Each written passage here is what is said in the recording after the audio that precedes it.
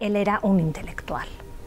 Y los intelectuales tienen cosas que decir, conceptos, y aunque a él le gustaba eh, que quedase muy claro que había dos, eh, diríamos, dos perfiles de él, ¿no? su faceta política y su faceta intelectual, yo creo que están muchísimo más relacionados las dos facetas de lo que él hubiera querido, en el sentido de que él como intelectual y situado en medio del imperio, es decir, Nueva York y la Universidad de Columbia, podía hablar como un exiliado de Palestina.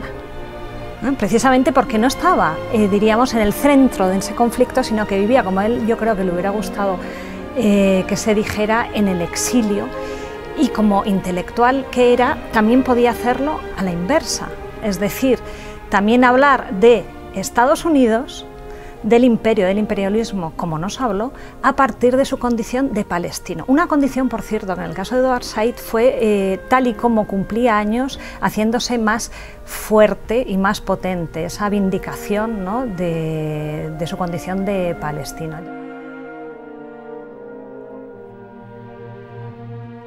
Como intelectual tiene y tuvo muchísimas cosas que decir. ¿no? El intelectual defiende las ideas defiende la teoría, defiende las palabras y en su caso estaban muy muy pensadas, puesto que antes habían sido publicadas. Entonces yo creo que cómo defiende él la causa palestina, un Estado al final de sus, años, de sus años, un Estado binacional, tiene que ver con toda la reflexión que hizo, por ejemplo con su mirada comparada, ¿no? una persona que desde que se exilia en la literatura y a partir de la literatura se permite hablar de la música que desde la música se permite hablar del conflicto palestino, de cómo gracias a la música se puede eh, luchar ¿no? o avanzar en una, que podríamos decir, en una mirada más uniforme, más, más global. ¿no? Esa persona que se exilia, esa mirada que él dice también secular, a veces le gustaba identificarse al final de su vida como un intelectual secular, yo creo que también es una de las, eh, diríamos, nuevas miradas que él aporta a esa causa palestina.